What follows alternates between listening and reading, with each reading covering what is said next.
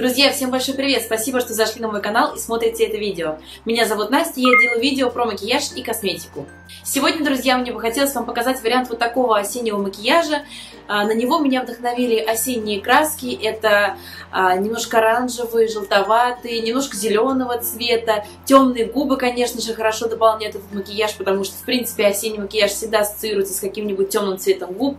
И мне очень нравится именно сама цветовая гамма этого макияжа. И, в принципе, мне кажется, получилось, получился достаточно удачный образ. Я очень надеюсь, что он вам тоже нравится. И, пожалуйста, если так, то обязательно подписывайтесь на мой канал, ставьте лайки этому видео, делитесь этим видео с друзьями. Это мне очень сильно поможет. И если вам интересно узнать, как я сделала этот макияж, то оставайтесь и смотрите дальше. Ребята, сегодня наш макияж глаз будет достаточно простой, поэтому все, весь сегодняшний образ я начинаю с макияжа лица. Вначале наношу базу, у меня это серум от L'Oreal, а, он продается только за границей, к сожалению, но если вы вдруг его увидите, очень советую купить, потому что это легкая сыворотка, которая увлажняет кожу и быстро впитывается. Далее, для того, чтобы замаскировать далее хорошо свои синячки под глазами, я наношу персиковый корректор только на сам синячок и растушевываю пальчиком. Этот шаг вы можете пропустить, если у вас нет таких сильно выраженных синячков под глазами, но для меня этот шаг, к сожалению, обязательный. Далее я уже беру тональную основу. У меня сегодня Makeup Forever Stick Foundation uh, HD. Я наношу вот таким образом сначала эту тональную основу по всему лицу, и далее использую синтетическую кисть, у меня в данном случае Face Expert Brush от Real Techniques, и вот такими крутящими движениями распределяю эту тональную основу по всему лицу. Пробовала я ее растушевывать бьюти-блендером, э, либо другим влажным спонжем, к сожалению, работает не так хорошо, лучше для этой тональной основы использовать кисть.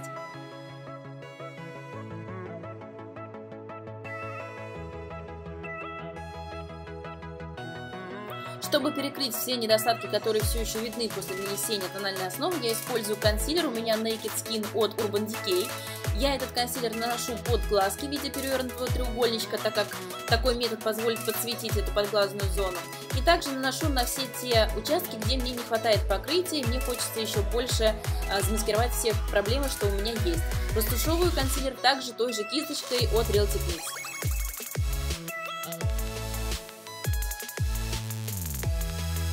Я практически всегда закрепляю все кремовые текстуры пудрой, и для того, чтобы закрепить консилер под глазком, я использую пудру HD от ELF, она специально создана для подглазной зоны, она ее подсвечивает, в ней нет шиммера, она просто слегка, слегка розового оттенка.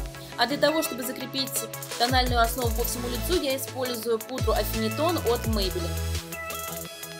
То, что мы закрепляем наш макияж пудрой, поможет, во-первых, заматировать лицо, во-вторых, а, продлить стойкость макияжа, и в-третьих, а, поможет всем будущим сухим средствам, то есть румянам, бронзеру и прочим средствам, лечь ровно и без пятен. Теперь переходим к проработке бровей. Я буду использовать свой любимый карандаш. Это NYX Micro Brow Pencil. А, у меня в цвете, по-моему, тауп точные цвета всех продуктов, что я использовала, будут написаны в описании к этому видео, как всегда. А, я использую, как всегда, очень легкие штрихи, заполняя пробелы, которые у меня, конечно же, есть. А, что я не делаю, это не рисую четкую линию наверху. Я рисую лишь четкую линию внизу, по низу брови. Это позволит сделать ее аккуратной, но не слишком очерченной, не слишком грубой. И после того, как я прокрасила бровь, я обязательно прочесываю ее, чтобы растушевать цвет и чтобы она смотрелась более натурально. И теперь закрепляю эффект. Я использую для, для этого гель от Maybelline. У него очень интересный аппликатор, плоский. Вначале нужно было приноровиться с ним работать, но сейчас он мне нравится, и у него есть в составе фибры, которые делают вашу бровь еще более пушистой. Теперь переходим к макияжу глаз. Как основу я сегодня буду использовать белый карандаш от NYX в цвете Milk. Наношу его на все подвижное веко, также немножечко захожу на внутренний уголок и затем растушевываю пальчиком. На всем веке у нас будет использован лишь один цвет, это вот такой вот а, желто-оранжевый оттенок. Мне кажется, это вообще олицетворение осени. Мне очень в последнее время очень хочется использовать этот цвет на всех макияжах. Его я наношу на плоскую, но при этом пушистую кисть для тушевки. Это типа MAC 217. И наношу его от ресниц и до складочки века. В орбитальную складку я уже прорабатываю, когда на кисти практически нет теней. Это позволит создать такой градиент от темного у ресниц к светлому около бровей. Также этим оттенком я прохожусь по нижнему веку.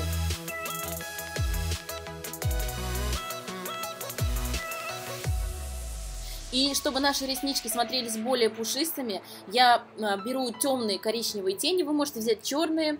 А, я нанесла их на скошенную плоскую кисть и проштамповала вдоль ресничного ряда.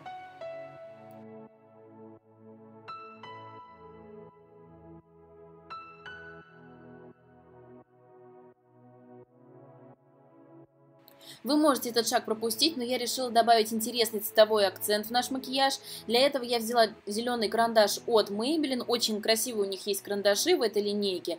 А, у меня зеленый оттенок, и его я нанесла на нижнюю водную линию. Это позволит сделать наш макияж чуть более интересным, цветным, добавить интересный цветовой акцент. Но вы можете либо вообще пропустить этот шаг, либо заменить карандаш на черный, коричневый, бежевый, какие-нибудь нейтральные цвета. Теперь я беру тушь и прокрашиваю сначала нижние ресницы, затем верхние. Теперь хайлайтер, который я буду использовать на лице, я использую для того, чтобы поставить блик во внутренний уголок глаза. Это позволит нам распахнуть взгляд. И также его, блестящий этот хайлайтер, я добавляю под бровь. Обычно под брови я использую матовые оттенки, но сегодня у нас, у нас макияж достаточно простой, он еще и э, в матовой текстуре, поэтому я решила такой э, блестящий все-таки блик добавить под бровь. Теперь переходим к макияжу лица, чтобы немножечко придать э, нашему лицу после лета оттенок загара. Я воспользовалась а, темной пудрой от Кика. Это пудра, просто она самого темного оттенка. Далее я воспользовалась румянами от фирмы Makeup Geek. Как видите, я с ними переборщила, но это не страшно. Я взяла кисть, которую наносила пудру, и просто не набираю на нее никакой дополнительной пудры, лишь работаю тем, что есть на кисти. Вот такими крутящими движениями прохожусь по румянам и бронзеру, тем самым немножечко снижая насыщенность цвета. Теперь воспользуюсь хайлайтером, который как раз таки а, я использовала и на глазках. Это Мэри Люминайзер от The Balm. Его я нанесла на скулы, также совсем остатки на кисти на нос. И обязательно надо галочка над верхней губой.